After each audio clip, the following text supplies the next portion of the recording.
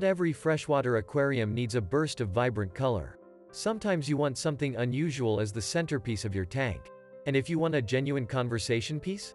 You couldn't ask for better than the black ghost knife. Black ghost knife fish don't attract a ton of attention with their monochromatic color scheme. But when you start to dive into their biology, you find plenty of unique facts you can share with everyone that drops by for a visit. Why not discuss the lack of a dorsal or caudal fin? Black ghosts rely on their pectoral and anal fins to generate a fluid, wave-like motion, similar to that seen in a skate or ray. It's hypnotic to watch and allows them incredible maneuverability through the water. Or you could touch on the electrogenesis. Similar to the electric eel, black ghost knife fish can generate and receive electric signals to help them navigate through the murky waters of their native regions. And the same electric frequencies allow them to communicate with each other. Of course, as unique as black ghost knife fish are, they're also not for the faint of heart. These fish present challenges beyond the scope of the beginner aquarist. And if you're not ready to handle such a fish, you may want to admire the species from afar.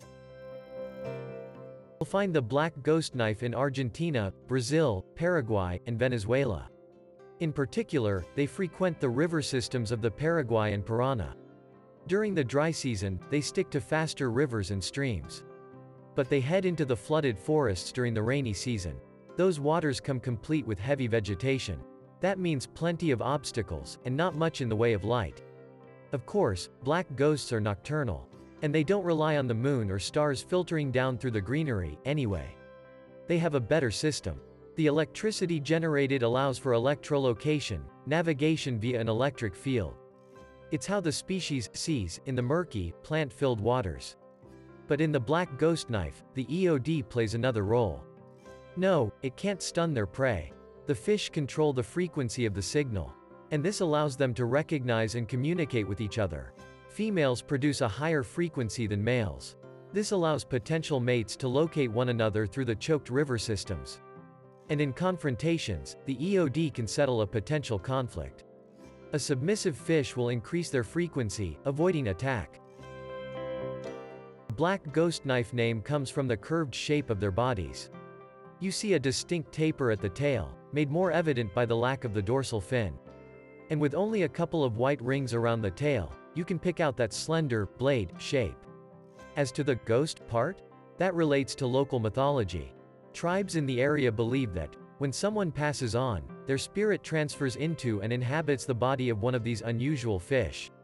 Add the two together, and you get a black ghost knife. Iridescent sharks, you often find juvenile black ghost knife fish for sale in the fish store. The little blades look innocuous enough. And who doesn't want an electric fish around? Unfortunately, many aquarists aren't prepared for the adult size of a black ghost knife. And a slow growth rate doesn't help. Black ghosts only grow 4 to 5 inches a year, for the first 5 years. Then they slow down. But the damage is usually done by that point. At full adult length, black ghost knife fish reach up to 20 inches. And you can't restrict them by housing them in a smaller tank. Slow growing or not, they're going to surpass most aquariums eventually, and end up with aggression issues. As you might guess, based on that slow growth rate, black ghost knife fish hang around. With proper care, you can expect to see your electrogenic fish survive for anywhere from 10 to 15 years. In general, black ghost knife fish want to mind their own business. They're relatively active fish that prefer to do their own thing and be left alone. They're used to swimming in and out of hiding places near the substrate looking for food. Anything else is extra stress they don't want to deal with. However, they have an aggressive side. This will pretty much only present itself when they're around other black ghost knife fish. But don't worry, it doesn't mean you can't keep two or more in the same tank. As long as these fish have enough space to call their own, it's unlikely that they'll be aggressive toward one another. It's just when two or more are crammed into close quarters that they can get pretty grumpy. Black ghost knife fish come from tropical regions of South America. As such, you want to keep the water temperature suitably warm. This means sticking as close to the 73 to 80 degrees Fahrenheit range as possible.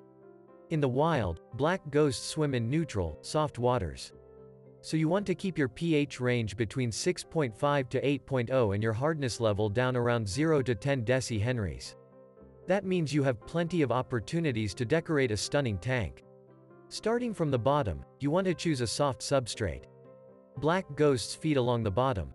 And without scales to protect them, they can end up with scratches and cuts if you use larger gravels rather than sand. As to the remainder, these fish aren't particular about their decor. You'll want hiding places, but you can use anything from driftwood to rock structures to artificial caves. As long as you provide space large enough, your black ghost will stay happy. The same with plants. Black ghost knifefish are carnivores. So they won't sample the foliage. As long as you've done due diligence in providing enough room for your black ghost knife to navigate and explore in the first place, there's no reason you to omit them from a community tank. Space is the biggest predictor of their aggression. And once that's sorted, they're fine. Of course, black ghost knifefish are predators. So when you start to plan your community, you want to look for fish of comparable size. And you should consider species with peaceful temperaments. Those electric cells can't function for defense, after all. Ensure that everyone keeps the space they need. This goes double if you have a pair of black ghosts in residence.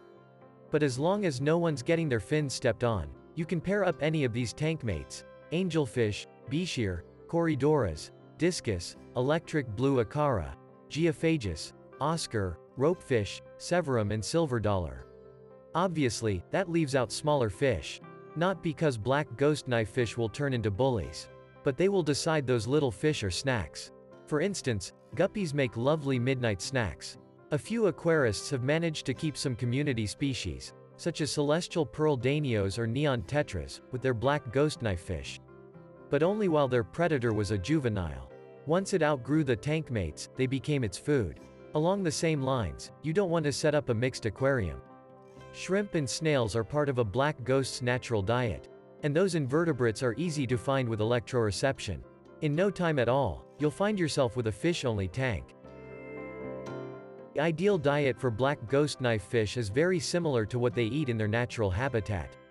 Unlike some other species, these fish tend to be very resistant to transitioning over to flake or pellet foods. Because of this, we prefer to give them what they want. From what we've observed, the black ghost knife fish that have lived the longest have been fed with a more protein-rich and natural diet. Any of the go-to live or frozen foods will work. Bloodworms, prawns, brine shrimp, and tube tubifex are used by owners regularly. Since these fish are nocturnal you'll need to work around their sleep cycle. The easiest way to do this is by feeding them once a day, and doing it in the evening or night. Early on in your ownership, it's crucial to make sure you're not overfeeding them. If they can't eat all the food you gave them in a couple of minutes, reduce the quantity. Overfeeding will not only impact their health directly, but it will result in extra waste in their water. Breeding these fish is something we don't recommend due to the lack of information that's available on the process. There are so many conflicting methods that have been tried that it's hard to tell what works and what doesn't.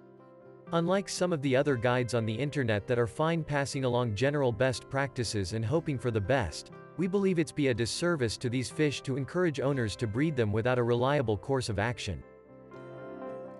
Black ghost knife fish care is a very rewarding process if you're up to the challenge.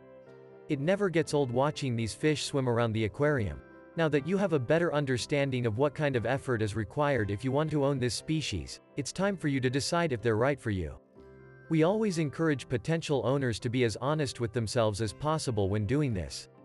The worst thing you can do is purchase a fish you're not prepared to care for.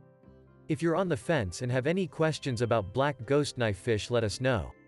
It's our mission to encourage and help as many informed aquarists as possible.